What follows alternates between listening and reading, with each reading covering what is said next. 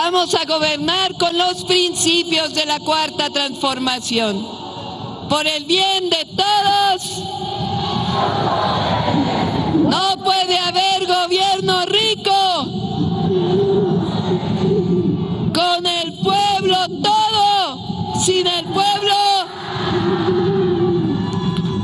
Además, como ya saben, vamos a mantener todos los programas del presidente. El día de hoy también. Y digo presidente, porque es el mejor presidente que ha tenido nuestro país.